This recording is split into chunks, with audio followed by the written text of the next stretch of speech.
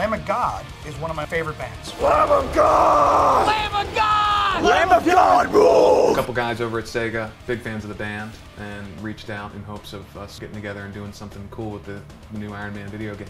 I mean, just the simple fact that they thought of us to use in such a high profile game is extremely flattering and awesome. Iron Man's a pretty tough dude, I guess. You wouldn't want to have like the Backstreet Boys or something in the soundtrack. I called up my buddy, Raymond Herrera, the drummer in Fear Factory.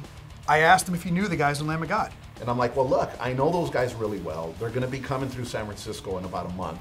I'll introduce you to the guys. We'll see if they got any extra songs. So they had just released a new record at the time. So they said, hey, we want an exclusive new track from you guys. Are you into it? They're like, oh, yeah, sure. We suggested the song to Sega and they heard it and they agreed.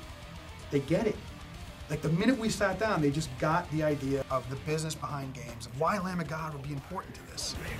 The song's called Hit the Wall. This was one of my favorite songs when we were doing the record. We definitely wanted to keep it because it was a great song. Here we are later in the game. Perfect opportunity after having time step away to be able to finish up this track. As all our music is just dark and heavy metal, and those things seem to tie very well into comic books and video games. We wanted to make it as brutal as we could, and that's basically what Lamb of God does. Everybody's giving their opinions. We're trying it different ways, seeing what works, seeing what doesn't work, flipping things around, ripping it apart, trying every way, you know, to make it something that makes the hair on your neck stand up. Check, check, one, two. Check! Microphone's at deafening level, that's about right for The it. basic tracks already existed from the first session. What we're doing now is all the vocals. This will be the first song I've recorded the majority of the vocals for at my hometown in a long time. Randy's all about the ritual. I like to leave home to record vocals. I can't come home to my wife and be a normal person. I just turn into a freak when I'm recording. If you catch Randy doing his warm-ups before the recording process, he's walking around with his warm-up tape doing the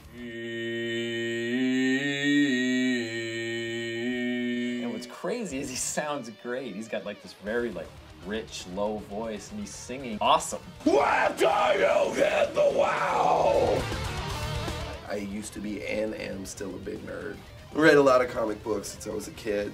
I always thought Iron Man was cool because he's probably the most plausible, believable superhero there is because he's not some sort of weird mutant who can phase through walls. He's just a really smart guy who built a suit. But what the song is about really is how sometimes someone's ambitions and how your own personal agenda can sometimes get in the way of your dignity. Kind of like Tony Stark's before he turned into Iron Man. Out of uh, everyone in the in the band, I have played in my life quite a, quite a few more video games than they have. It looks like it's a, a good uh, fly around and blow stuff up kind of game. Can't wait to see it when it's completely done and play the heck out of it. Hopefully uh, it'll be beneficial to us and that our music will be exposed to more people. Video games outsell movies and CDs right now. I think it is a really good chance for us to expose our music to people that maybe they wouldn't otherwise hear. And maybe this is going to be someone's introduction to heavy metal. Hopefully they don't even know when they're playing the game. There's no album release of the song. You can't download it off the internet because nobody has it.